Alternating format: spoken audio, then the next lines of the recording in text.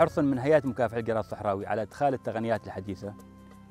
آه، كان لابد من البحث عن وسائل جديدة وحديثة تساعد الدول المتاثرة بالجراد الصحراوي على متابعة استكشاف الجراد خاصة في المناطق النائية والتي لا يمكن الوصول إليها إلا بصعوبة.